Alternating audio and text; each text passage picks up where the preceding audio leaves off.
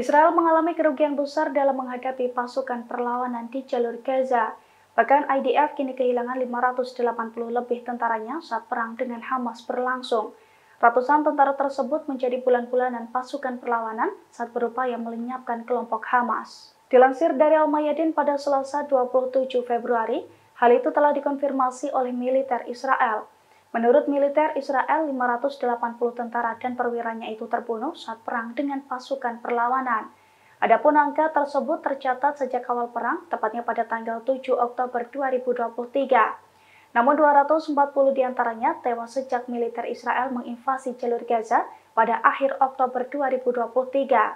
Saat militer Israel mengumumkan hal itu, Brigade Al-Quds justru mengumumkan keberhasilannya melawan pasukan pertahanan Israel atau IDF.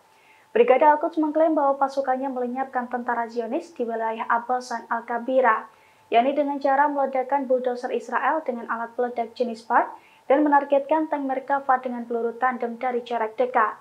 Selain itu, kelompok tersebut juga mengumumkan bahwa pasukannya meluncurkan roket ke pertemuan militer Israel di selatan kota Gaza. Download Tribun X sekarang, menghadirkan lokal menjadi Indonesia.